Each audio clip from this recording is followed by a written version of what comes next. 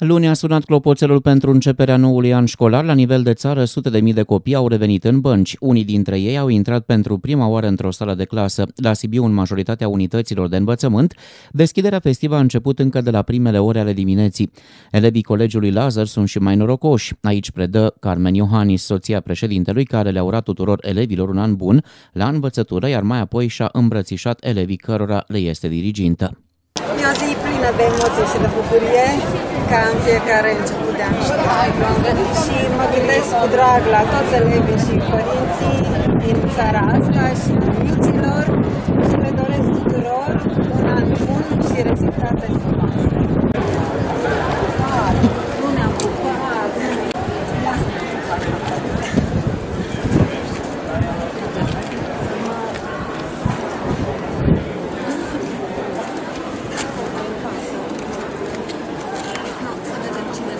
uităm la Răzvan.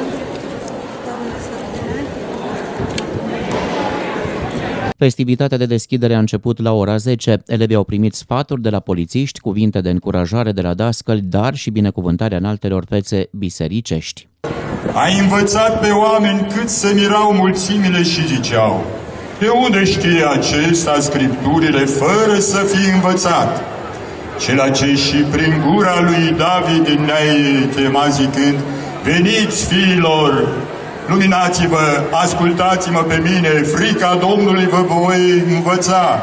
Ceea ce ai dat înțelepciune lui Solomon, Dumnezeul al tuturor cuvinte al tău, stăpânitorule, deschide sufletul și inima, gura și mintea servilor tăi, profesori și elevi acestei instituții, liceul Gheorghe Lazar ca să princeapă și să învețe și să facă voia ta și scapă de toată ispita diavolească, păzește în toate zilele vieții lor și făcându-le să sporească pururea într poruncile tale.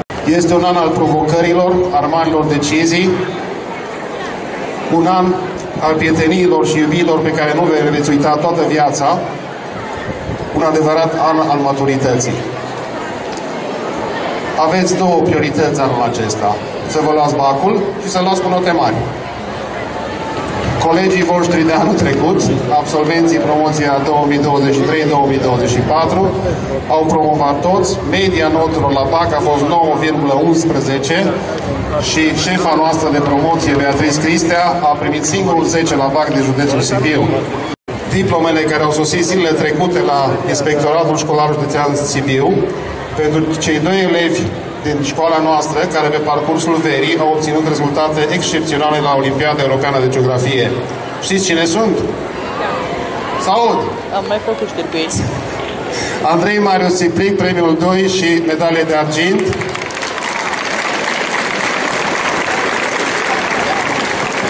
Și Paul Ioan Cipric, la fel premiul 2 și medalie de argint.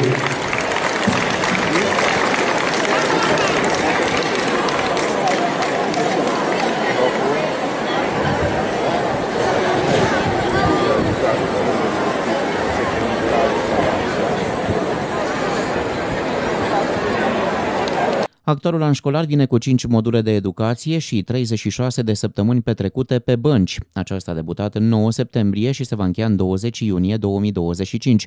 Astfel, primul modul va dura până în 25 octombrie, când școlarii vor și intra în prima vacanță. Aceasta va avea o durată de o săptămână, iar copiii vor reveni în clase în 4 noiembrie, când debutează cel de-al doilea modul educațional. Acesta se va întinde până în 20 decembrie, când copiii vor intra în vacanța de iarnă. Cel de-al treilea modul va începe în 8 ianuarie 2025 2025 și va avea o durată de aproximativ o lună de zile. Și aici este programată o vacanță de o săptămână, însă aceasta va fi dată în fiecare județ în parte, în funcție de decizia inspectoratelor școlare, în perioada 10 februarie-3 martie 2025. Penultimul modul educațional nu are o dată fixă de începere, așa durează până în 17 aprilie. După acest episod, școlarii vor avea o nouă vacanță, în perioada 18-27 aprilie. Ultimul modul va avea loc în perioada 28 aprilie 20 iunie 2025. Vacanța de vară va începe în 21 iunie și va dura până în 7 septembrie 2025. Noul an școlar vine și cu modificări. Reprezentanții Ministerului Educației spun că acestea vor duce la creșterea gradului de siguranță în școli, atât în ceea ce îi privește pe elevi cât și pe dascălii acestora. În plus, copiii nu vor mai avea voie în timpul orelor să folosească telefoanele mobile. Continuă programul de reparație și întreținere a drumurilor. Societatea de drumuri și poduri, aflată în subordine administrației județene, continuă și în această perioadă intervențiile pe drumurile din județ. În această săptămână se va interveni pentru refacerea marcajelor rutiere pe drumul dintre Sibiu și Păltiniș, se vor face plombări în zona Jina-Dobra, se vor monta parapeți metalici în zona barajului de la Gura Râului. În plus, sunt programate defrișări de arbori și tufișuri începând din zona Arpașu și până la limita cu județul Brașov. Aici vor fi tăiați arbori cu diametrul mai mic de 10 cm. În plus, se vor demonta, curăța și remonta marcajele rutiere. Mai sunt programate lucrări de curățare a șanțurilor și rigolelor în zona drumului județean din cartierul arhitecților, lucrări de cosire a vegetației, reparații și vopsii de poduri, aduceri la profila acostamentelor și săpări de șanțuri. Lucrările vor avea loc pe drumurile județene din Săcădate, Vurpă, Ragnita, Nou Român, Șomartin, Viișoara, Basna, Boian, Țapu, Hașac, Șeica Mare, Șeica Mică, Alma și Vecert. Sibiul ar putea avea în viitor tren periurban, acesta ar urma să folosească infrastructura Companiei Naționale de Căi Ferate.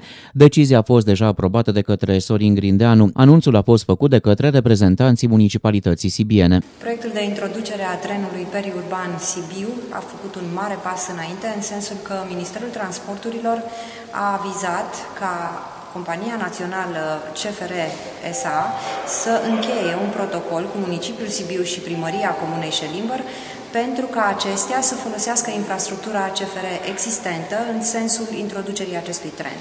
Prin introducerea trenului ca mijloc de transport dinspre periferie spre zonele de interes, cum ar fi zona industrială, se dorește reducerea traficului la intrarea în oraș.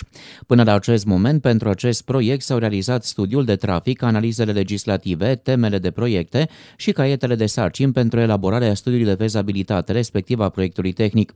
După semnarea acordului cu CFR și realizarea documentațiilor necesare, va urma avizarea lucrărilor de intervenție. Într-o primă etapă, trenul va conecta localitatea Șelimber de zona industrială, va avea un număr de 13 stații, dintre care două vor fi în comuna limitrofă orașului, iar celelalte în puncte cheie din Sibiu. Atunci când banii nu ajung, Spitalul Județean apelează la donatori pentru a achiziționa aparatura necesară desfășurării activității. De curând, printr-o donație de 30.000 de euro făcută de către o firmă sibiană, aparatura a intrat în dotarea secției medicale întâi și va ajuta medicii să ofere atât diagnostice cât și tratamente corecte. Ecograful sublinește o nevoie importantă a secției medicală 1 prin creșterea acurateței investigațiilor pe care medicii le pot face cu acest aparat, întrucât bolnavii care sunt internați aici vin cu patologii complexe. Astfel, medicii de pe secție vor putea acoperi diagnostice și tratament pentru mai multe patologii din specialitate și vor putea crește precizia și precocitatea diagnosticului. Este vorba despre un aparat care permite exploatarea vaselor, a părților moi, dar și a organelor interne din zona abdomenului ori din zona pelviană. În plus, existența lui pe secție va permite reevaluarea permanentă a pacientului în funcție de evoluția diagnosticului. Pentru tata să moară Nicu, asta își dorește el. Care este starea de spirit? Pozitiv. Încă un film românesc face istorie la festivaluri internaționale. Este vorba despre Anul Nou care n-a fost, o peliculă a cărei regie și producție sunt semnate de către Bogdan Mureșanu. Filmul a obținut numai puțin de patru premii la Festivalul Internațional de Film de la Veneția. Evenimentul aflat la ediția cu numărul 81 a avut loc sâmbătă seara. Filmul românesc a primit premiul pentru cel mai bun lungmetraj realizat de către un regizor debutant, două premii Fipresci, dar și premiul criticilor independenți. Pelicula este o tragicomedie cu acțiune petrecută trecută cu puțin timp înainte de Revoluția din 1989 și construiește numai puțin de șase narațiuni pentru a ilustra vremurile apuse. Sibiul a vibrat pe acorduri de chitară, găzduind cu succes Guitar Meeting 2024, un eveniment care a reunit aproape o mie de pasionați ai acestui instrument. Festivalul a transformat orașul într-o veritabilă capitală a muzicii de chitară, oferind publicului două zile de concerte impresionante. Chitariști veniți din toată țara și-au dat întâlnire în Muzeul Astra, unde au fredonat la unison piese folk și rock celebre.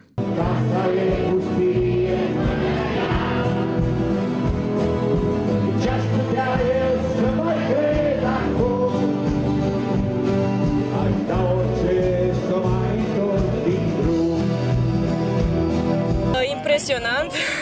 Pot să zic că mi se face pielea de găină și consider că e un lucru minunat cu un impact foarte puternic, în special asupra sufletului și al culturii. Foarte frumos și să vezi atâția oameni care au același hobby ca tine, superb, îți încălzește sufletul. În fiecare an parcă se strâng tot mai mulți și mi se pare unul din cel mai fain eveniment, dacă nu cel mai fain eveniment, și din orașul ăsta, dar și din România, pentru că, na, punem la pe chitară se extinde în mai multe orașe. Anul acesta, la concertul Pune mâna pe chitară, s-au înscris aproximativ 1000 de chitariști. Evenimentul a adus pe scenă chitariști consacrați, dar și tineri talentați, într-un mix de stiluri muzicale care au variat de la clasic la rock sau jazz. Sunt foarte mulți copii care vin din foarte multe orașe ale țării. Uh, vreau să spun că, de fapt, evenimentul principal nu este acesta. Uh, ce vedeți aici este o consecință a Evenimentul s-a încheiat într-o atmosferă vibrantă, cu promisiunea că edițiile viitoare vor fi și mai spectaculoase, iar Guitar Meeting va deveni o tradiție a toamnei sibiene.